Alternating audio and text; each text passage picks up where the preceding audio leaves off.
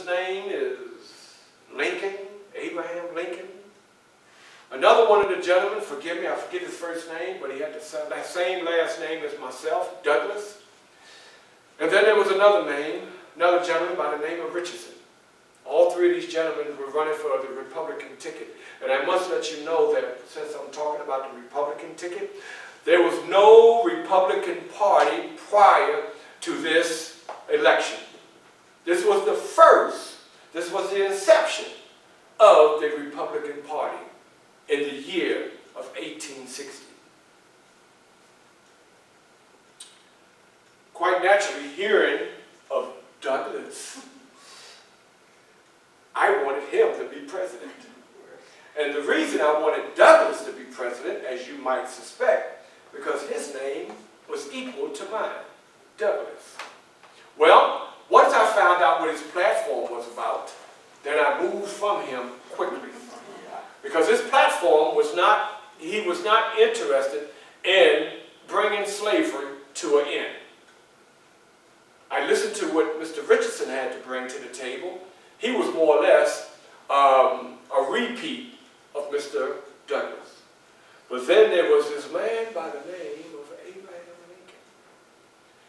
And one of his campaign slogans was to somewhat, and he would not come out, you know, blatantly to say that I'm ending slavery, but if you listen closely, you knew that one of his missions was to end slavery, even though his wife, Mary Lincoln, anybody ever heard of her? Mm-hmm. Okay, she owned slaves.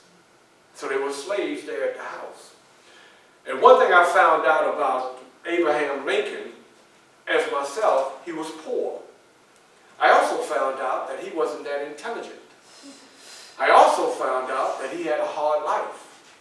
So there were some parallels there. Well, I liked Mr. Lincoln so much that I, I started campaigning for Mr. Lincoln. I campaigned, I campaigned hard. I convinced a lot of the blacks to vote for Mr. Lincoln. Mr. Lincoln wound up winning the campaign by a small margin. Well, I think it was 1862, October, ma'am, I made my way to the White House. I went to the White House. And when I got to the White House, believe it or not, I was the first black man to enter into the White House. Speaking on that, as I went to the front door of the White House, I knocked on the door. The guard came, and the guard said, you must go to the back of the door. You must go to the back if you want to enter in. Well, I didn't know that in order to get in the White House, you had to go to uh, another location to sign your name. So what I did, I signed my name and I stood outside like everybody else.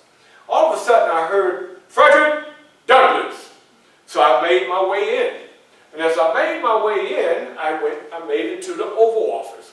Ma'am, when I walked in the Oval Office, there was this big gigantic desk.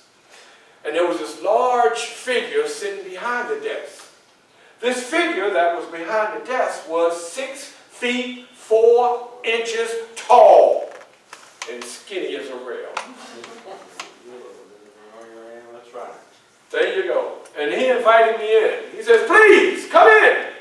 So I come in and I step to him. And as I step to him and I look, wow, he's a tall man. Well, I went to introduce myself. And he says, no need. I heard all about you, Frederick Douglass. And I've heard what you said about me, how you've been cutting me down, the negative things you've been saying about me. Have a seat, Mr. Douglass. Well, usually what I do when I have students in the audience, I would take my seat instead of sitting like this. At First, I would begin off and I'll say, now, Mr. I sat in the chair, but I didn't sit like this. I didn't sit like this. I didn't sit like this. I didn't grab myself. You know what I mean? So I sat down respectfully, like I had some sense. So everybody did what you do. They would do what you do. They'd start giggling and laughing. The kids, they'd be like, mm, you know, have you ever noticed when the kids start squirming, laughing, giggling. You know they're wrong. They tell that's how they tell on themselves. You know, you know they start shaking. You know. So anyway, I'm sitting there and I cross my leg and Mr. Lincoln says, well, Mr. Douglass, how can I do for you today? I said, sir, I come on three behalves, sir. I come because of the fact that, first and foremost, I am very interested in finding out when will my people be free? What are you going to do about that? Number two, I come, and at this time, the civil, we were on the hill of the Civil War beginning. And my wonder, if you will, was when are black men, when will they be able to go to the front line and fight? Now, please understand, ladies and gentlemen, black men were serving in the, in the military. But they were serving in such a capacity such as dishwashers, such as butlers, such as, you get the drift? Mm-hmm. But my interest was, when will the black man be able to pick up a rifle and go to the front line? The whole essence of it was is that why are you fighting this, this war with one hand and another hand behind your back? The hand behind your back are the black soldiers. And we were losing many of our, our soldiers. We were losing. So that was a concern. And last but not least, I take my hat off to all you beautiful ladies in here because of the fact that I wanted to find out through the President of these United States when were women going to be able to vote. Not just black women, but women of all kinds in these Americas. Well, after I got through with my little spiel, Mr. Mr. Lincoln, he got up and he went to the window and he moved the curtain, he looked out, took a pause and a deep breath. He comes back to me and he says, well, Mr. Douglass, you bring some mighty good points to the table. However, I think we should wait. And I'm like, wait, sir? He says, well, you don't want to upset the status quo. Because if we move too fast, then we'll find out that there we have a lot of death on our hands. So we should take this kind of slow. And it's funny, as I get to this point, ma'am, I was read, doing some reading such as I do now, ma'am, I was reading as Donald Dowridge, not as Frederick Douglass.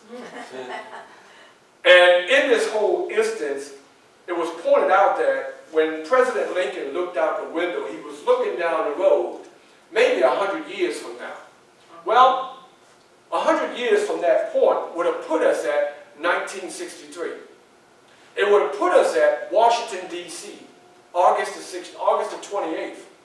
It would have put us at a 5'6 in height statue man with a microphone on his, in front of him, in a podium, with, with Abraham Lincoln as statue behind him. And with this man speaking, I have a dream.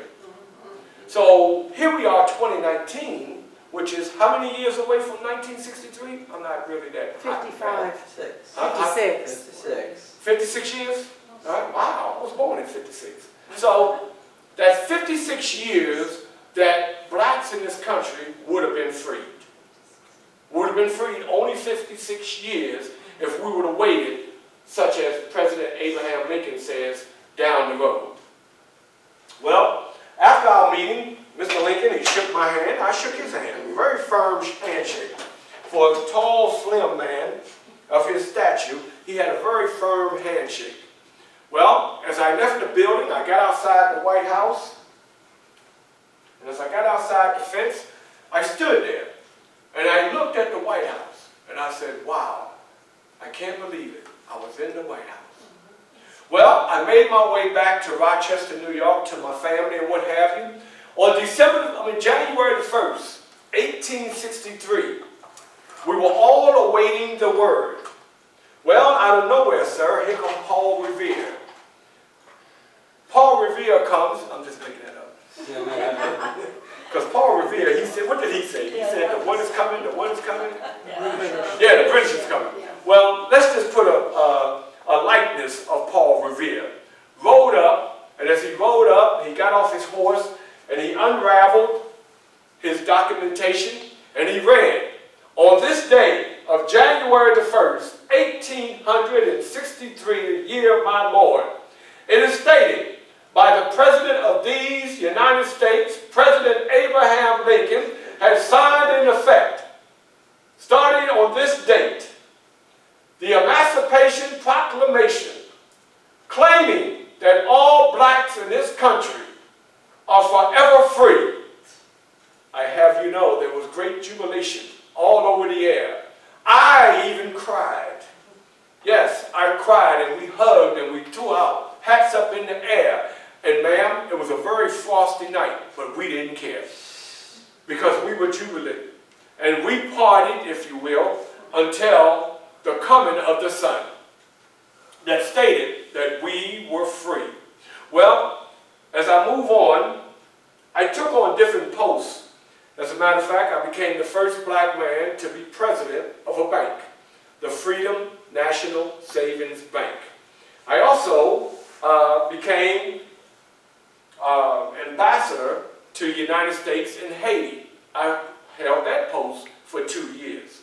I also became the first black marshal of Washington, D.C. And ma'am, let me see who I didn't speak to yet. Let me see who I didn't. Sir? No. Look, look, this is Women's Rights Month. Ma'am, no offense. He like, he like, I can't believe you did that to me. But ma'am, as Marshal of Washington, D.C., I went back and I paid a visit to my slave owner, Master Hugh R. At this time, he was old, he was frail, and he was on his deathbed. Well, when I walked in to talk to my master, as he laid there, he called me Marshall because I was a marshal. But I said, no, call me what you used to call me. Call me Freddie. And he called me Freddie, and we started talking. And we had some heart-to-heart talk, sir. I asked him some hard questions. I said, which I didn't explain to you all, I said, why did you do what you did to my grandmother?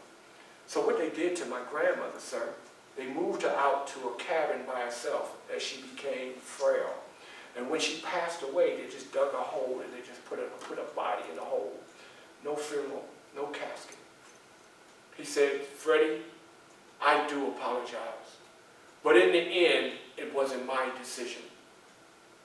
I also must state to you, Freddie, that I really was against slavery.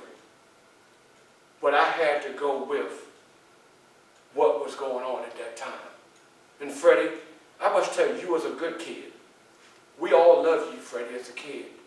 So allow me at this time to apologize for whatever we done to you. And I'm so happy that you have grown up to be who you are and to make the impact in society such as you did. And we shook, we shook hands, but his hand was so weak. I shook his hand, and I put his hand down.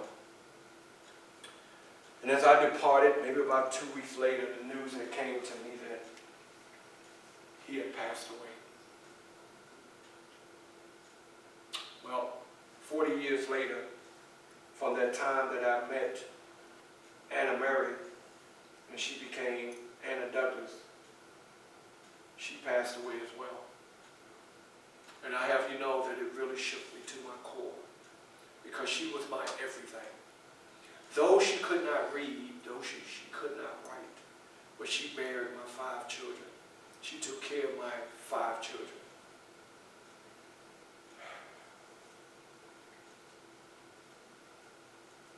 Upon the move to Washington, D.C., I had a secretary by the name of Helen Pitts. Helen was a hard worker. I loved opera. I invited Helen to go out to opera with me, and she agreed. Helen was 20 years my junior. I was 66. She was 46. Helen also was white. Helen and I, we wed. My children was very upset. Helen's family disowned her. So we escaped. And we went on a six-month trip around the world. And even though she was 20 years my junior, I must state, I really enjoyed her. If I had to say, if anyone was to question me about which marriage was the best marriage, I would definitely say that Helen was my number two best marriage.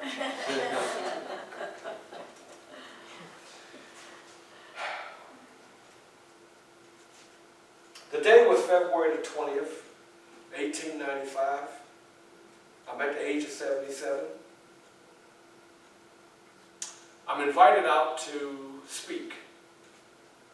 I get in the carriage and it takes me to the Washington Convention Center. At this time, we had moved from, Was from Rochester, New York to Washington, D.C. Anaconda. Uh, uh, I was going to say Anaconda.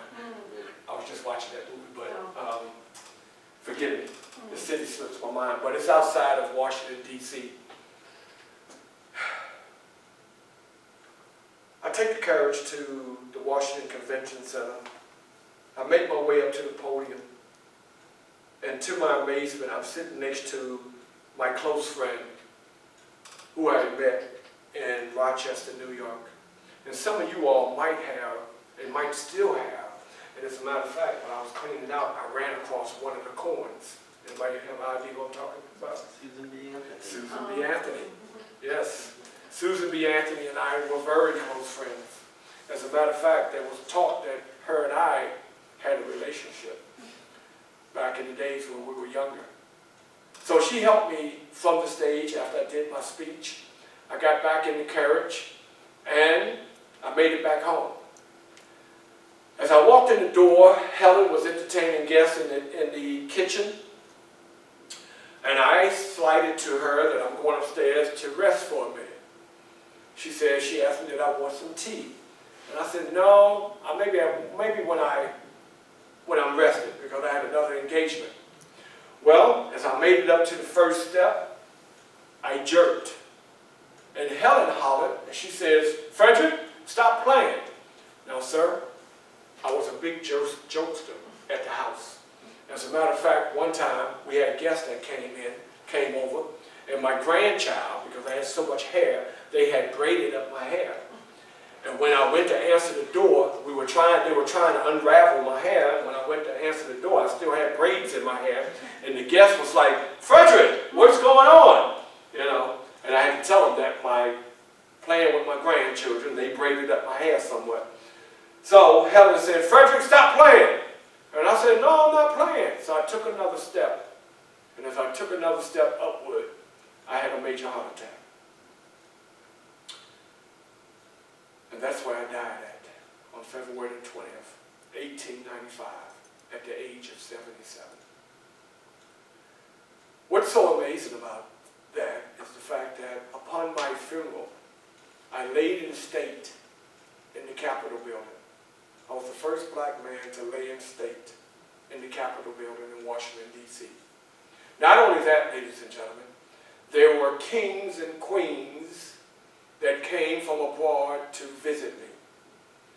My body is currently laying next to my wife. Which wife? The first one. In the funeral, in the, in the funeral home, in the cemetery in Rochester, New York. I take my hat off to Helen because of the fact that because of her, my home is still, um, well, my home was purchased by the Parks and Recs Forest, Forest uh, Service. Uh -huh. So they upkept my home, and that's why it's still a national monument to this day. I visited the home in 2012, and I was so amazed that when I stood there, I could actually look down and I could see the White House, I could see the Washington Monument, and the Capitol building. So Frederick had an idea that I will purchase this house but I will let white folks know that I am just as good as they are. And believe it or not, Frederick did not die a poor man. He died a rich man. And not to shine negativity on Frederick, I will say that his daughter, Rosetta, she married.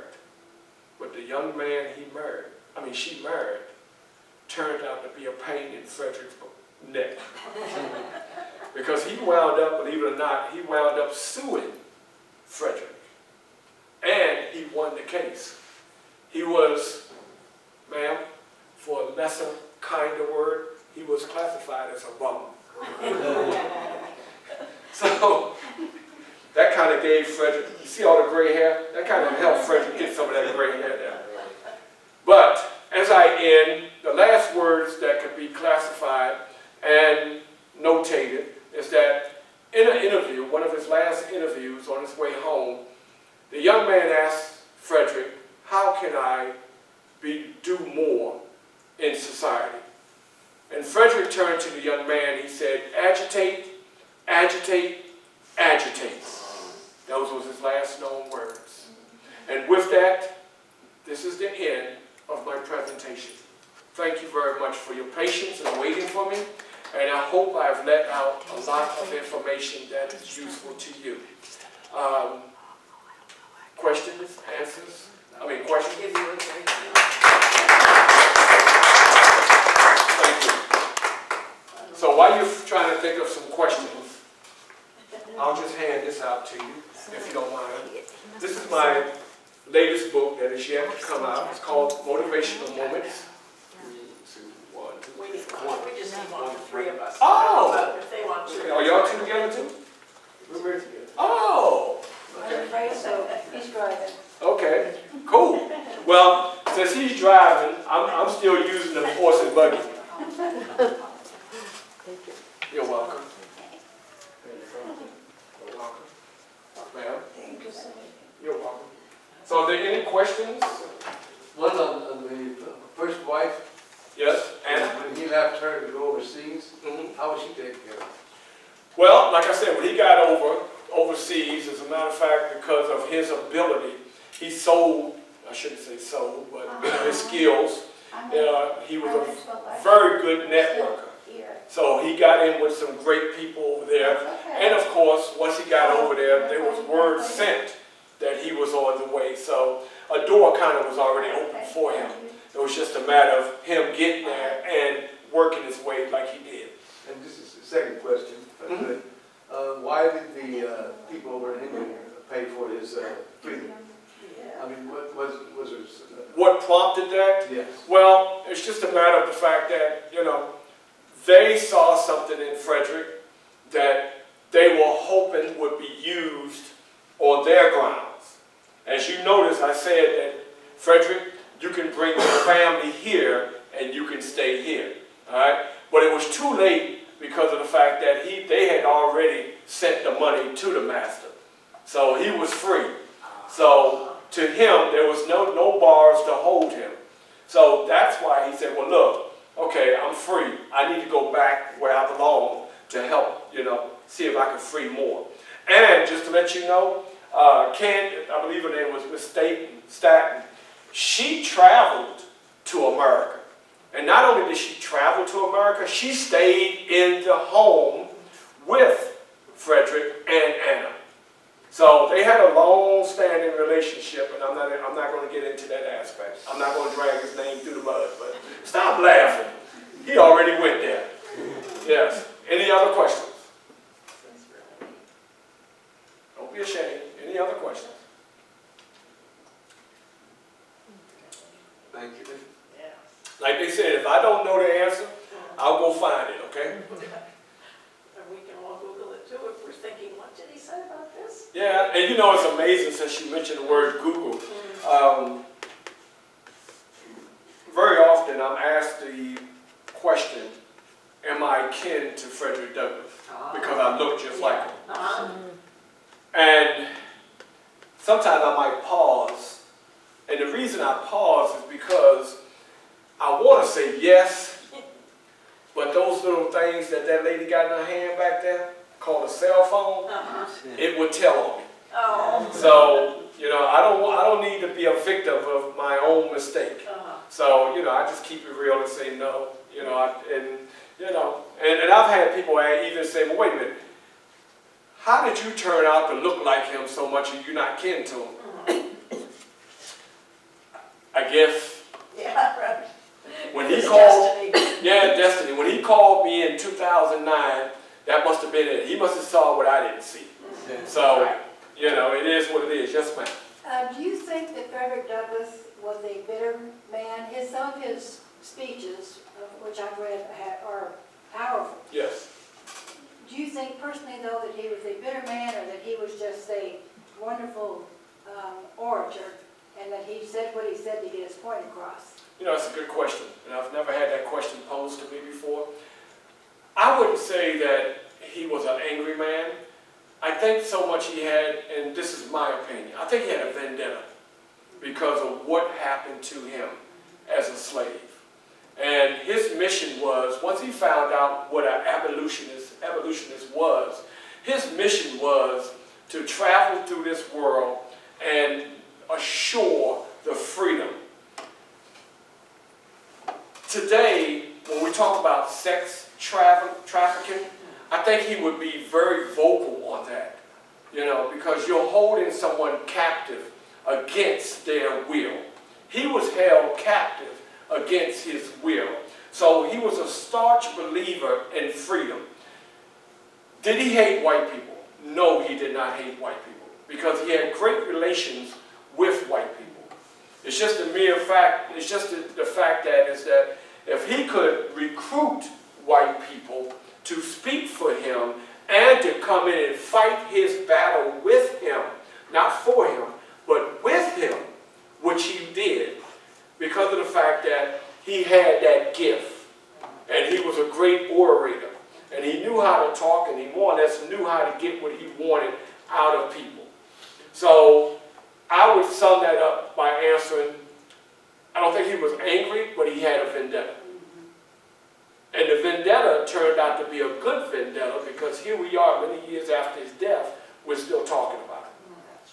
So he did a mighty work and he did a great work through his vendetta-ness. I just made that word up. Well, if you think of agitated, agitated, it's kind of like, that's when things happen, is when people become agitated. Yes. When they're docile, you know, it's like, okay, we'll worry about it tomorrow. Yeah, you, you'll put off till later.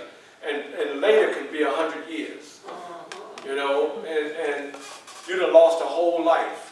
Just imagine how many people that don't get to live to see a hundred years. But they've lived their life in such a docile mode, passive mode, that guess what? People begin to, to misuse them, abuse them. And, you know, and I, let's be frank, I got people in my family like that, you might have people in your family like that. So one thing I, I, as I took on the role of Frederick Douglass, and I will be honest with you, I've, I've learned, I've matured a lot within myself, but I've had the opportunity to take a look out at people. And I must say that, you know, I, I, I'm not a sociology major, but I've taken sociology in school. And I will let you know, even though I dropped out, I do have a degree. So, um, in saying all that, there was a time, because of my upbringing, to be honest with you, I hated white people because of my upbringing and what I, what I witnessed as a child of the civil rights movement. And being called the N-word, being spit on, being having eggs thrown at, and seeing what was done to my, uh, you know, immediate family. But as I grew older, I realized, and I'm still learning, I'm still learning about you all, that guess what? You are people just like I'm people. I'm learning that you live and you die just like I do. I'm learning that they are poor white people just like they're poor black people. And I've learned, you, know what I've learned? The world that we live in today is not about if you're white, it's not about if you're black, Hispanic, Iranian, or whatever. You know what it's about? If you got money. Oh my gosh. And the color of money is not black, it's not white, it's not Iranian, it's not Mexican, it's what? Green. Yeah. And if you got a load of those things, them greenbacks, if you will, those Benjamins, I was in the store the other day, and this- and this old white guy, he walks in, and he says, uh, well, how many Benjamins would that cost me? And I looked at him, and I said, excuse me, sir, what did you just say? He said, Benjamins. I said, why you call Benjamin? He said, Benjamin. Benjamin Franklin is on. I said, oh. I thought it was just a black thing, you know. I'm getting my Benjamins. And I see this old white guy come and said, how many Benjamins will that cost me? I'm like, oh. So that's the defining line, if you will. Black, white, and all the other cultures that are here in America. If they got this, that's what brings us all together. So America, though we, we, we fly Old Glory, red, white, and blue, but behind that Old Glory, red, white, and blue, there was a gigantic sign, and it's called dollar.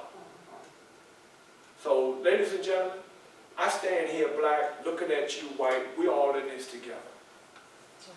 And it's a shame, because I heard the other day, I was looking at the news and they said, it's a shame that it will take another 911 for we as Americans to wake up and see it. If you notice, September 11th, how we all joined forces. We were together for maybe about two years, and all of a sudden, we went back to being who we are. I mean, you know, it's like family, you know, we fight within, but if mm-hmm. outside come in, then it's wartime. Mm-hmm. So when they, when they took those planes and went into the World Trade Center, we looked out. We didn't look in. So we became one to fight the foreign substance. Once we fought the foreign substance and we won, now we can go back to arguing and fighting each other. Not less, not less. You got a Benjamin to give it.